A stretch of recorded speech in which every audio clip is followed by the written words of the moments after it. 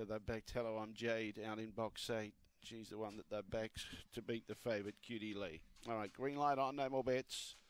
Favourite punters, you want to see her in front. Away, she began well, Cutie Lee. She's got the lead, but Hello, I'm Jade's coming across. And Songs and Stories is nice and handy and gets into second place. Only a length and a half from the leader. Looks a big danger. Now, running on again was Hello, I'm Jade after being pushed wide. They're well clear of Filthy Phantom and Just Kenny. Cutie, you need to kick. Cutie Lee in front leads by a length, but here comes Hello, I'm Jade. Hello, I'm Jade goes past it. Late miles home. Hello, I'm Jade beats Cutie Lee or Songs and Stories. Fourth was Filthy Phantom and Just Kenny at the tail end of the field. The time was around 23 seconds. Eight, the winner. I think Cutie Lee's held on for second just in front of Songs and Stories. And we had Filthy Phantom, I think, from memory in fourth placing.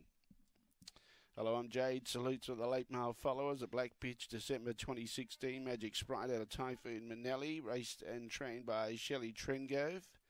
Solid performance to win, was pushed wide by Songs and Stories down the back, and then she had the initiative to switch down to the inside and then peel around the outside.